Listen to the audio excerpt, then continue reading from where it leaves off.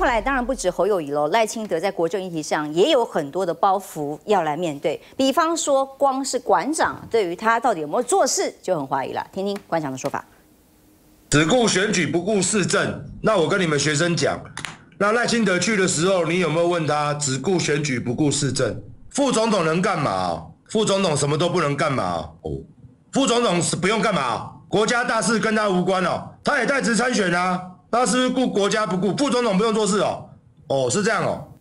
副总统有很多国家资源可以用，重点在这里。所以商总怎么来对于赖清德喊话呢？因为赖清德问说：“哎呀，要支持我可以吗？”那商总理事长许书博给他回答：“我要拿什么支持你？你们把我爸爸的学校一些医生的心血给毁掉，拿什么支持你？”这当然讲的是失校被灭的议题哦。现在这个灭校几乎在一个恶性循环里头，很多私立学校纷纷都要关门，越来越多。那么刚刚才又有两所，接下来甚至最高被统计到可能会到。三十所之多，台湾才多少学校？少子化有没有解决的方法？恶性循环怎么解决？私校退场，哎，要干嘛？居然有一个方向转移到变成建商裂地吗？那么，比方说赖清德就抛啊，私校退场这个场地本来都是国家啊支持建校的这样的场的土地，哎，土地可以拿来干嘛？盖社宅。潘文忠说，嗯，可行哦，可以哦。只有社宅吗？还有其他的建商都乐见南部的三校地可行性很高，可以让赖清德当选，把学校。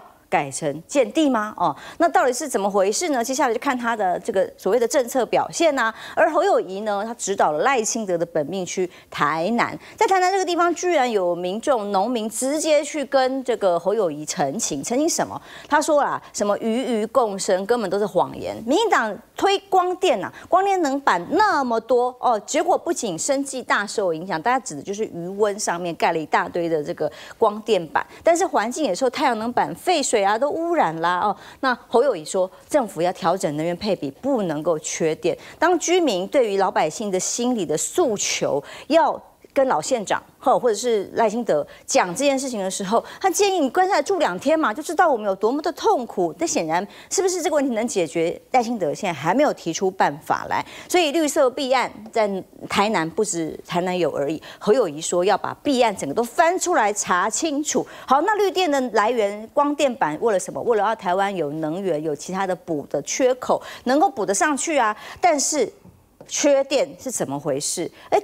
政府一直说没缺电呢，尤其经济部长哦，台电都说没缺电，到底怎么回事呢？啊，民进党批外行又造谣，怎么会草包啦？怎么会缺电呢？没有缺电啦！赖清德赖清德近办的发言人说，呃，原话赖刘德一讲的是说，只好相信嘛啊，原话是说绿电发展慢会影响台湾竞争力。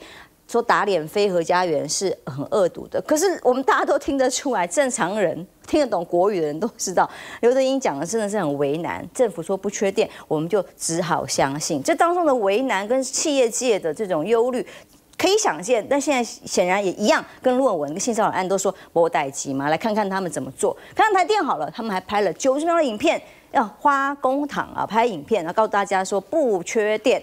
哦，这个曾文生特别出来拍影片，强调不缺电，却被大家骂翻了。哎，他说不是电力不够，而是电网啦、系统啦有问题啦，就差没有说小动物有问题，一天到晚跑到我们电线，造成停电、电网的系统或损坏吗？那么其实这个下载、下修备载容量。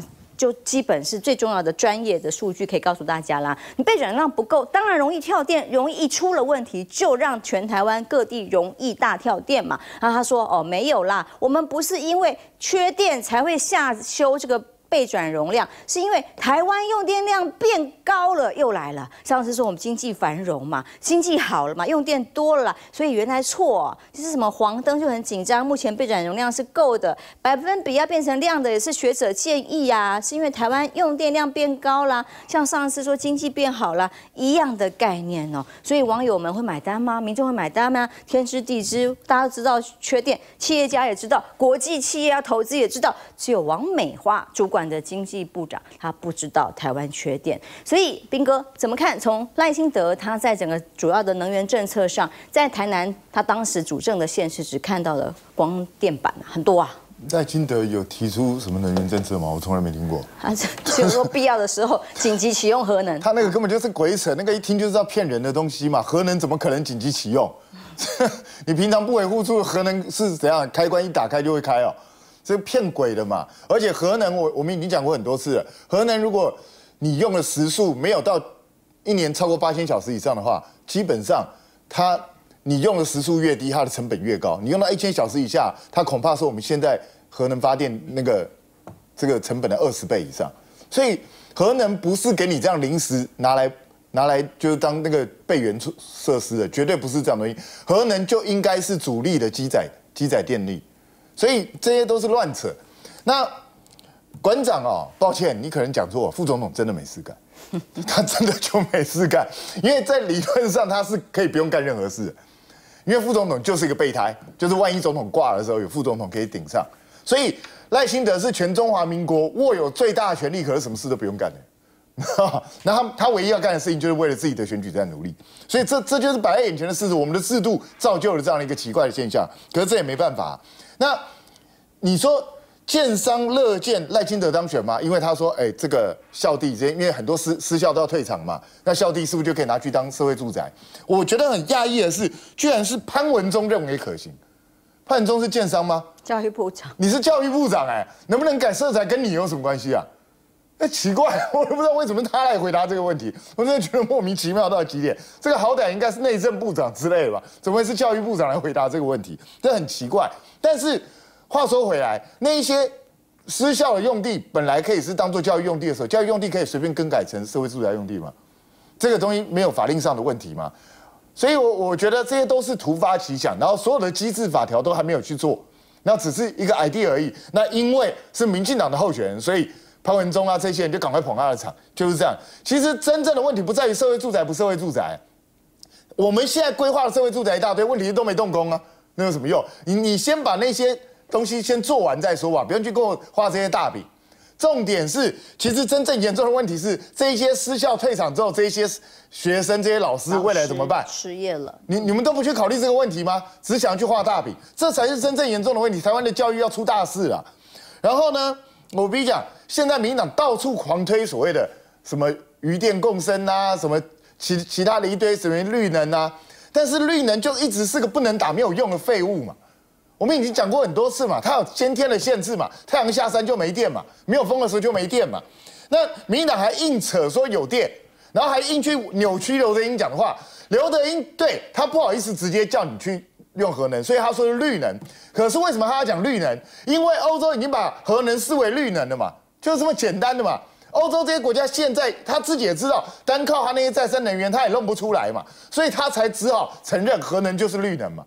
人家是这样解套的。刘德英在告诉你政府应该要这样做，可是这个政府装死，所以又又笨又蠢又爱骗人，就是民进党。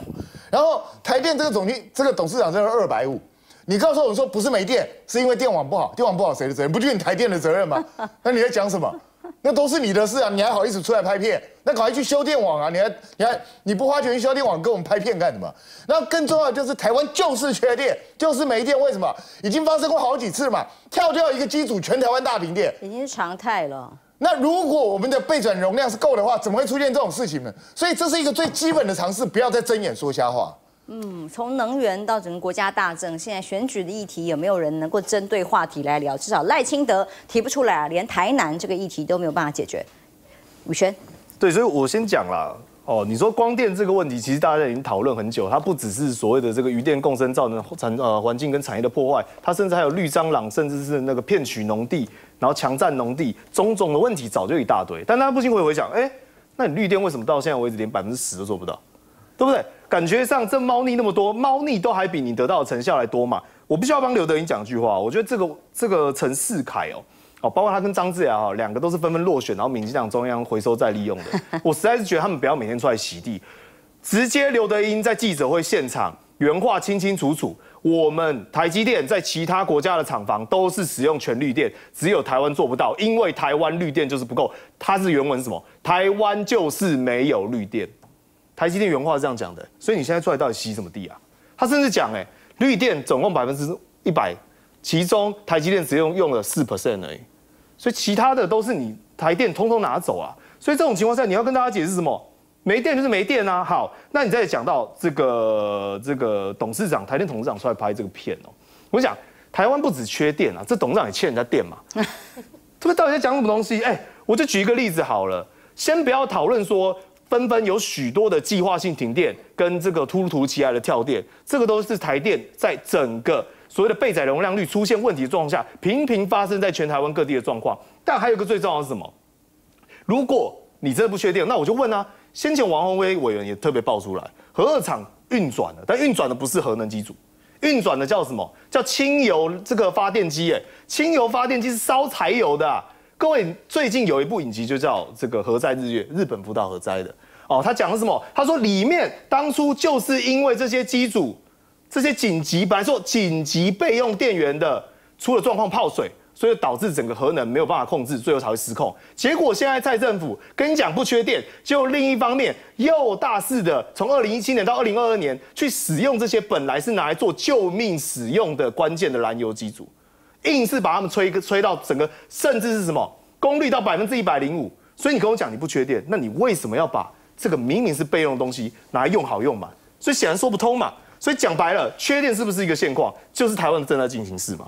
嗯，台湾缺电，绿能又跟不上，那么愿意所有的二零二五的政策现在都跳票了。哎，台电做法是告诉大家拍影片说没有缺电。我觉得这大概就是小英政府最擅长的事情啦，所以他跟导演关系很好，也可以理解，就是不断的拍片告诉大家骗大家。其实我在看哦，你看哦，民进党说呃批侯友谊外行又爱造谣，但是大家知道吗？美商协会跟外商直言，台湾的能源政策有缺电危机。是国安危机，是国安危机哦。请问你怎么不批人家外行，不批人家造谣？我们现在台湾的能源政策就是出了问题，但是小英政府就是不想要去面对它。我觉得大家要有没有缺电？我觉得百姓感受很深的，企业感受更是更深的。大家记不记得两三个礼拜前南科整个降压跳电？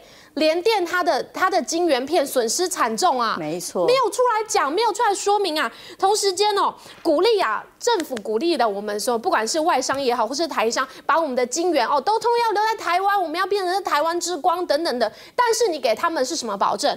不保证。不缺不缺电，不保证稳定供电。请问一下，对于台湾的整个晶圆发展，你觉得你现在有能力把他们留在台湾吗？这才是蔡政府你要去好好检讨的地方啊。同时间哦，台积电哦特别刻意的隐瞒真相哦，他去讲到说，呃，那个台积电台电对，呃，台积电台积电台积电他们呃这边他说呃，他赖清德的办公室陈世凯是说他的呃刘德英的原话是说绿电发展。会影响台湾的竞争力，台积电会努力的帮助政府推动绿电的发展。这个东西叫做什么？不好意思，我这边要写一下，因为魔鬼真的藏在细节里面。两个地方，第一个，企业只能无奈的选择相信政府所说的不缺电，但是对一旦缺电也奈何不了政府。第二个，目前政府绿的定义有绿电的成本确实让台湾的企业没有办法吃绿电啊，国际上就是没有竞争力啊，是啊，这就是事实啊。到底为什么还要骗台湾人？然后同时间。间接证实的就是我们的经济部长，台湾缺电的证实就是你。王美花说台湾用电量变高了，其实就是直接间接证明台湾缺电是事实啊！你怎么会把台湾的电压不足、我们的供电有问题，你把它怪罪到我们台湾人民我们用电的问题上面？这个是我们的政府该做的事情吗？为什么不好好面对现在的政策到底要怎么做？如果国际间的趋势都开始慢慢让核能，两千年以前我们大家没有一个人会反电。非核家园，但是现在已经二零二三了。根据整个科技的变迁，现在的状况是怎么样？我觉得民进党政府你应该要去好好思考，不要再把任何问题丢给台湾人民。如果今天你们都没有。